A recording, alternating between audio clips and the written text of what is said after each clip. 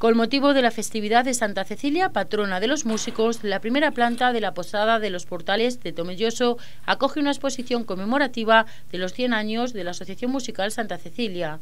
En ella podemos hacer un recorrido a través de fotografías, documentos, instrumentos, vídeos, uniformes y objetos de los más diversos por el siglo de vida de Santa Cecilia.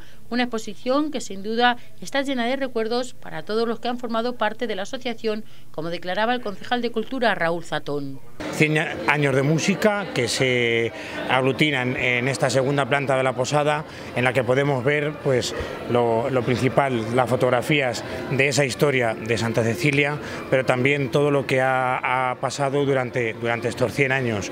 Eh, tenemos instrumentos antiguos, premios, vídeos, incluso uniformes que, que, los antiguos músicos usaban.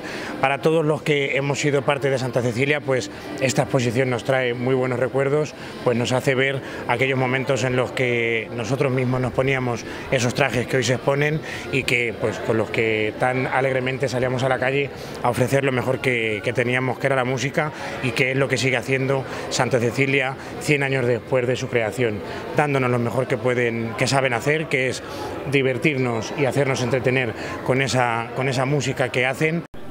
El director de Santa Cecilia, Luis Osuna Migallón, ha resaltado la importancia de que una asociación llegue a los 100 años. En la posada están expuestos prácticamente todo lo que la banda tiene en su local. Fotos de todos los tiempos, premios, diplomas y distinciones que la asociación ha tenido a lo largo de los 100 años. Además se pueden ver objetos muy antiguos como estos timbales de cobre que seguramente estén hechos en Tomelloso. Antiguos, esto que tenemos aquí, los, los timbales que, que yo creo que eran de manufactura de tomellosera, porque eran, son de cobre. Yo creo que antes de hacer eso hacían carne membrillo, o sea que serían. Y, y, bueno, pues, pues no sé, las banderas, mira, tenemos la bandera.